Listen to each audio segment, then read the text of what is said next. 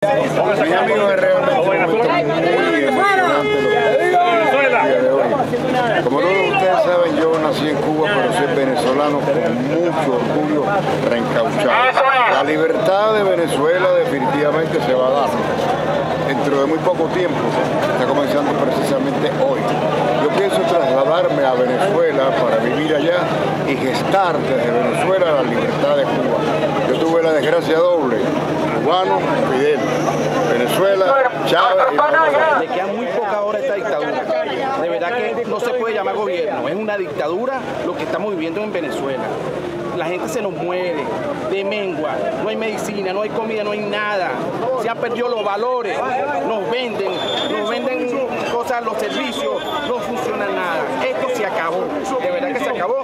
Muchas gracias por estar acá. De verdad le doy las gracias. Yo tengo cuatro meses no lo veo. Mi hijo no, me- viene mi hijo para acá. Tengo cuatro años, me quita mi esposa, mira. Somos profesores universitarios, tenemos un sueldo que no nos alcanza para nada. Mi hijo nos está ayudando, él nos está ayudando también. Pero yo le digo, papi, él no quiere venir para. Él no quiere. Esos muchachos no han vivido nada. Ellos lo que han vivido es esta desgracia. Claro. Por eso es que yo quiero que mi hijo venga y estoy aquí, así me maten, así yo me, me cruce, me caigan a tiro y adelante. Yo estoy aquí para que, para que, Venezuela cambie y esos muchachos vuelvan, lo necesitamos aquí. ¿Dónde está él?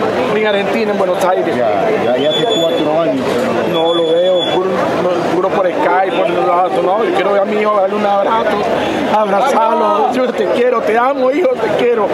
Claro que sí, yo estoy aquí luchando porque ellos vuelvan, no solamente hijo, sino que vuelvan todos esos muchachos acá, que los necesitamos, son muchachos buenos, trabajadores.